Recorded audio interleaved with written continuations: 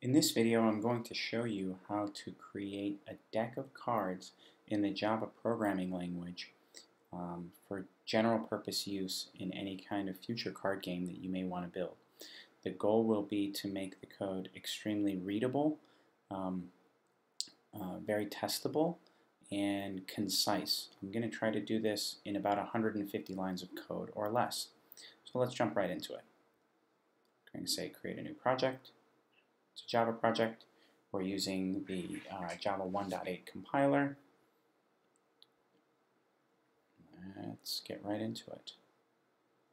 So it's a command line app, and we're going to call it my card game.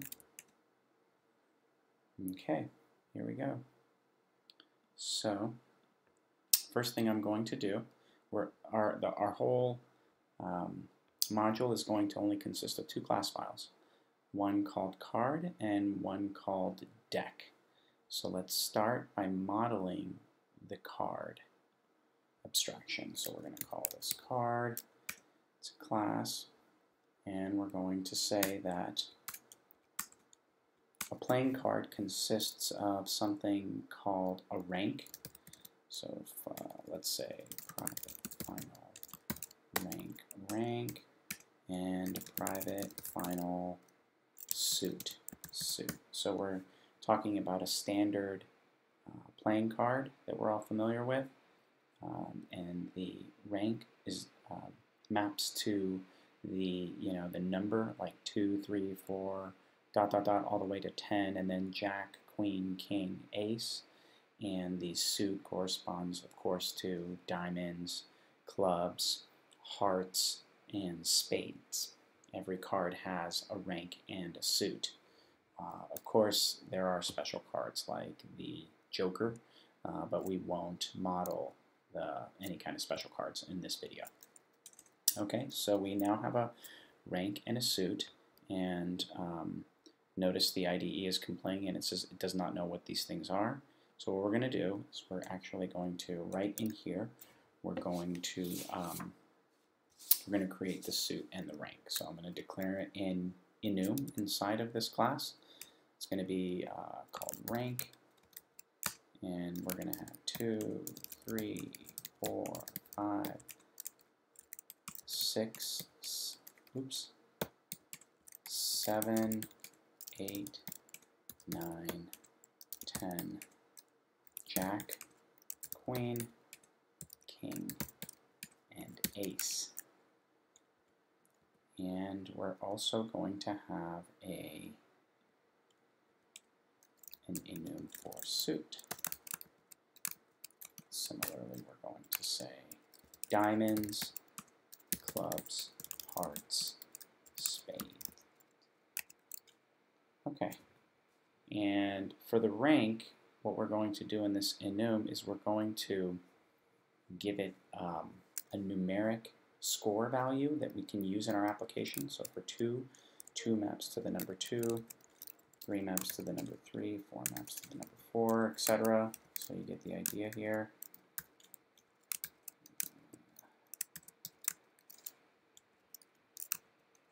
Nine,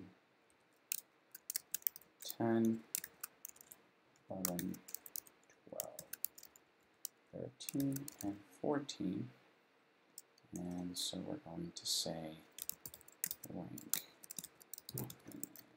final rank value. We're going to say this dot rank value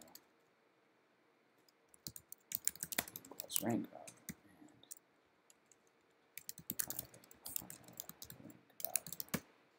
There. Oh, and we're going to give it a type. Rank value. Okay, great. And so now we will also introduce a private constructor for the card. So we're going to say private card final rank rank and final suit suit. And this dot rank is equal to rank. This dot suit is equal to suit. Okay, so we still have one compiler error here. We just fixed with a semicolon. So now um, we are on our way here to uh, creating our card class And so what we're going to do is we're going to have a map. Um, we're we're actually going to have a factory method that will return any given possible card that we can create. And when the application starts, we're actually going to um, initialize a map with all possible card values in it. And, and we can always retrieve any card from that card cache. Okay, if you've watched my series on chess, you've seen me do this with the chess tile. Okay, so what we're going to say, private final static map, and we're going to map a string. You'll see what that string represents to a card. The, the string really is just going to represent the cards, um, you know, the nomenclature of the card, what we call it, like the ace of spades, if you will. So we're going to call it card cache equals, and we're going to have an init init cache method. Okay. So here it's complaining. Need to import map. And in, in this vi video, actually, I'm going to use all of the all of the classes I'm going to use are built into the JDK, so you're not going to need any third-party libraries. So uh, let's see if we can highlight the error here. Create this method, and uh, this method is going to be really uh, trivial. I'm going to say final map of string to card uh, cache is equal to new hash map. And we're going to say for final suit in all the enumerations suit values and for final rank in all the enumerations, uh, in all of ranks, rank enumerations, rank values, or enum values. Uh, we're going to basically say cache dot put, and it's going to be some string, which will leave us blank right now. I'm going to come back to this. And um, let's just say that we're going to use uh, the private constructor new card, uh, rank, and suit. Okay, so that basically, and what we're going to come back to identify what this mapping is going to be. It's actually going to be really simple. And we're finally going to say return collections collections dot unmodifiable map. This is to make the map immutable, so you can't change it afterwards. No one can you you know mutate this map, and I've talked about the importance of uh, immutability in my uh, chess video series. So we're going to return an immutable map there, right? And now we have this uh, constructor, and um, so first let's override the toString method public string toString. We're going to say return rank followed by of followed by suit.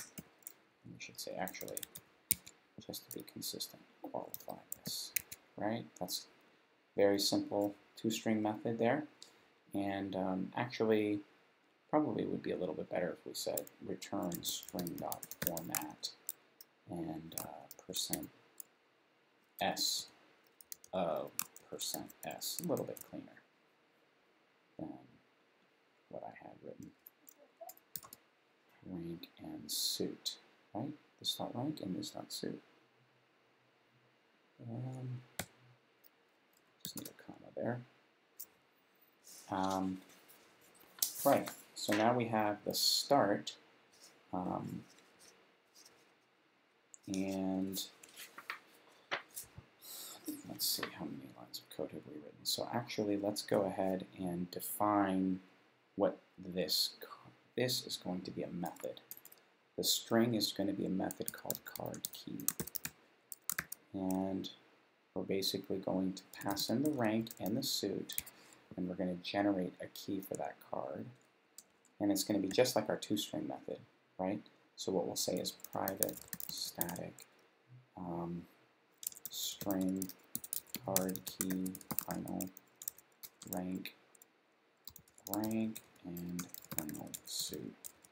Suit. And we will say return rank this dot rank plus of plus this dot suit. So that's what this um, oh actually sorry it's not this. It's a static method so given some rank and some suit, just produce the string. That's the string that we're going to use to identify any given card and do the mapping up here in our init cache method, right? Fairly straightforward. So, um, right. So the only other, so now that we've modeled this, we've, we've modeled the card class up to some, to some extent. We'll come back to it. I want us to take a look at the deck class. I want us to create a deck of these things. So I'm going to say new Java class, and we're going to call it a deck. Right? and here, I'm going to use the abstraction I'm going to use as a stack. So our deck is going to be very simple. Private final stack, built-in class, cards, deck cards, and we're going to say, um, we're going to initialize uh, the deck, right? So what we're going to say is private stack of card init deck and we're basically going to say deck cards dot push and we're going to push all of the cards that are available in um, our card class. So we're going to say card.getCard. This is going to be the method that we use, our factory method that we use to retrieve any given card. So we'll say rank and suit, right? Card.getCard rank and suit.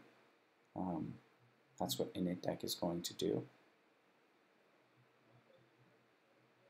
Uh, but actually, in order to do that, we actually have to specify the rank in the suit, which I haven't done here. So I'm going to say final stack of card deck cards is equal to new stack. And for final card dot rank, actually let's do card dot suit, suit in card values for final card dot rank rank and card dot rank values. And now what we're basically going to say is deck dot deck cards. That's where we're going to do the push that I just mentioned here. So now this is going to retrieve all know, it's going to go through all the suits and all the ranks, and for each combination of them, we will retrieve that from the card cache, and we're going to push it onto our deck, right? That's where we're effectively going to get all 52 valid combination of cards, and then um, now we're going to say collections dot shuffle. There's a nice handy method in there that'll shuffle a collection uh, deck cards. So we don't have to implement this and return deck cards. Very easy. Okay, and now we want to have a private constructor for our deck. Private deck, and we're going to say this dot deck cards is equal to init deck, right? That will initialize our deck cards in the deck. The only thing that's missing is this get card method. And the most important thing in this class is going to be the public interface that we expose. So we're going to say public optional card deal. This is the method that we're going to expose. And what we're going to say is return if, if the deck cards are empty, then return optional of empty. Otherwise, return optional of this dot deck cards dot pop. So I have a little bit of explaining to do here. This optional is new in Java 8 um, and basically allows you to wrap an object that may or may not have a value. And so, you know, if the deck is empty, we don't have a card to return from it. What should we return in that case? Well, we could return null, um, but a cleaner approach here uh, would be a sort of a, a yeah, a, a, modern approach here would be to use this optional class. Um, it's still a bit of a code smell that we have to check if it's empty and do something, but it's it's better than dealing with null. And otherwise, if, if you know if it's not empty, then we take the value off the top of the deck and we wrap it in an optional of. That's what this optional of does. It wraps the value in an optional.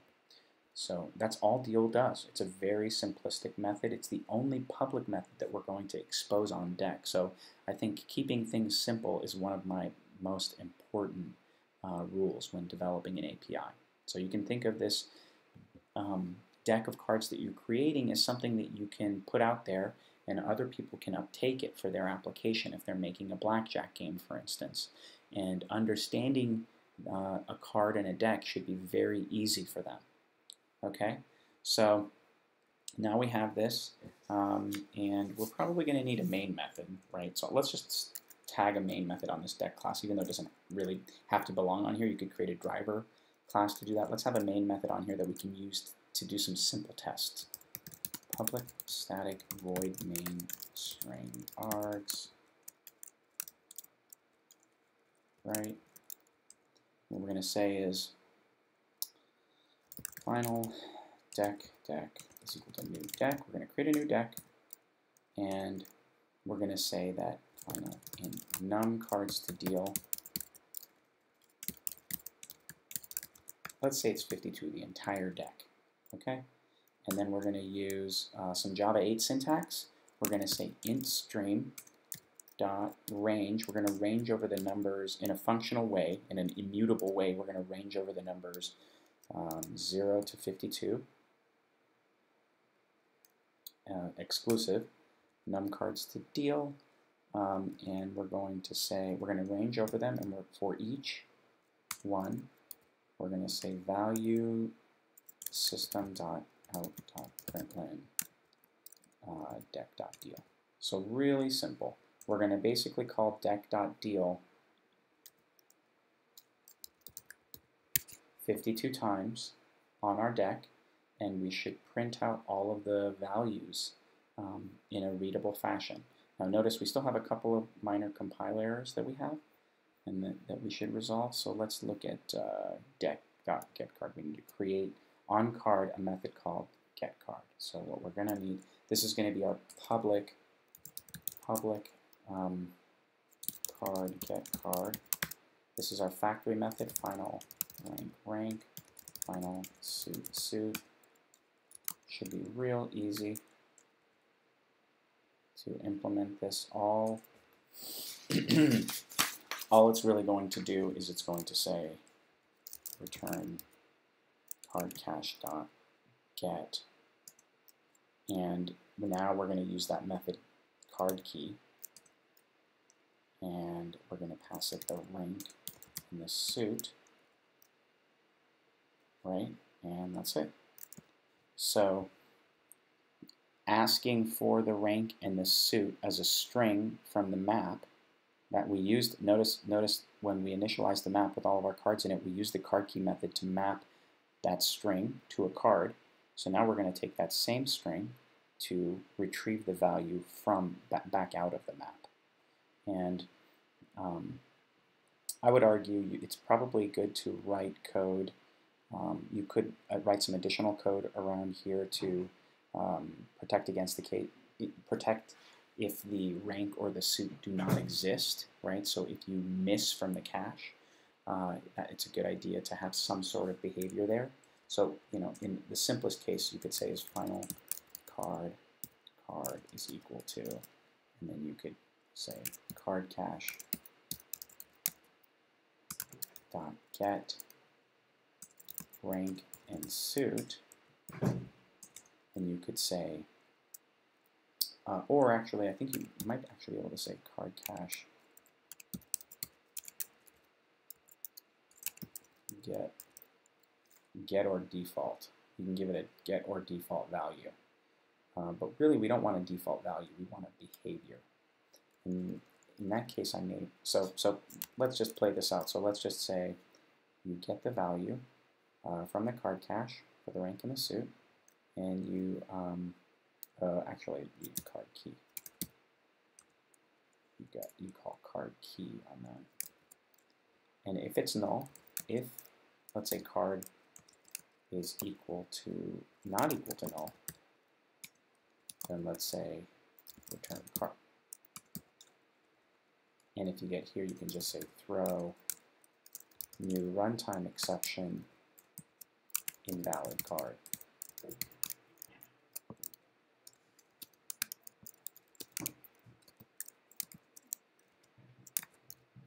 Rank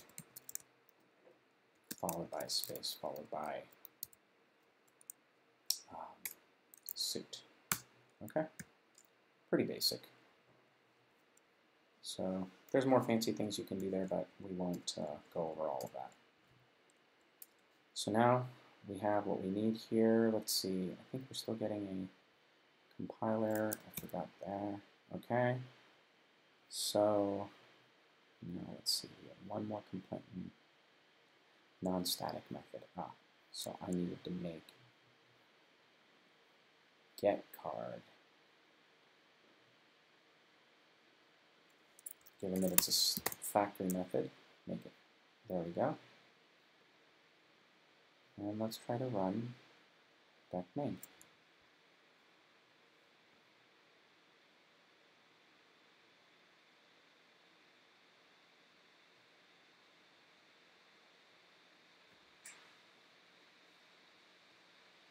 There you go. So a shuffled deck of cards. Um, you can go through it, all 52 cards in a deck. Um, there's more we can do here. We can actually say that um, card implements comparable so that if you didn't want to shuffle the deck and you wanted it to be ordered, you could provide a way to order it. So let's go ahead and do that. So we're going to come here to the card class, very top, and what we're going to say is that uh, card implements comparable of a card, right? And of course, the compiler is going to complain. It's going to ask us to implement the method, and we're going to uh, just implement the um, compare compare to method. Uh, oh, I said comparator. I'm sorry. Comparable. And here we're going to implement the method compare to. And it's going to be really simple. We're going to rely on third-party libraries here. We're going to say final int uh, rank comparison is equal to integer dot compare uh, this dot rank dot get rank value. We haven't written that yet. And other card dot rank dot get rank value. Okay? And we need to write that the get rank value method on the enumeration. And uh, after we do that integer comparison, oops, after we do that integer comparison, the way, the way, well, the way that we're going to do that integer comparison is to say if the rank comparison and we used integer.compare, we delegated the work to integer.compare that'll do the, that compare those integers for us. We're going to say if the rank comparison is not equal, then return that rank comparison, right? So we found some difference between the two cards. But if they have the, if the two cards have the same rank, well then now we have to say integer return integer.compare, and the only other thing that we have to compare, which is this dot suit dot get suit value. Now, I know what you're thinking. Um, there isn't a standard way to compare suits in all card games. So you might choose not to uh, include the second part of the comparison in your version. But I'll, I'll show you, this is really just to demonstrate how you could compare multiple things in one compare to method. So I'm going to say this.suit.get suit value, right? So that's going to be our tiebreaker. And uh, so we can come here into our enumeration and we can say public int get rank value, return this dot rank value, and public int get suit value, and we're going to return this dot suit value, which doesn't exist yet, and what we're going to say is, uh, let me see, uh, private final int suit value, and we're going to say suit final suit. So we're going to say suits take a suit value. This dot suit value is equal to suit value. And now the last step is to say that a diamond has the lowest, clubs has two, hearts has three. Again, this isn't standard across all card games, so you may choose not to use this. Um, but you know, I just wanted to again show you how you could do this with multiple. Uh, so, right. So there we go with those two things. That should do it. Let's see. Yeah. So now, now, if we didn't shuffle the deck, if I commented that out and we reran the program, we should see that proper ordering. Ace of spades, king of spades, queen of spades, jack of spades. Right now, 10 of spades, 9 of spades. Oh, actually, that's not quite right. That's not quite right. Alright, so that's not right. So I found out what I did wrong here. I need to say, in the tiebreaker, I should say this dot suit get suit value and other card suit dot get suit value. And now, in the deck, instead of shuffling, I could have said collections dot sort my deck cards. And if I rerun the program, then you'll see that it's actually sorted correctly now. Ace of spades, ace of hearts, ace of clubs, ace of diamonds. Then king of spades, king of hearts, king of clubs, king of diamonds. So you can see here in about 150 lines of source code, we were able to make a deck of cards, and I would argue it's fairly easy to reason through the source code, uh, and it, there's really only one public API that um, we should be exposing to our end user, which is deal, and we can call deal any number of times, um, and it should behave safely. You could have made the behavior you could change the behavior such that deal throws an exception when the deal is empty. Um, that's really up to you. So in the future, we may use this deck class if we want to make some card games. Uh, anyway, thanks for your time. Uh, please do uh, subscribe and like the videos, and I look forward to seeing you guys in the next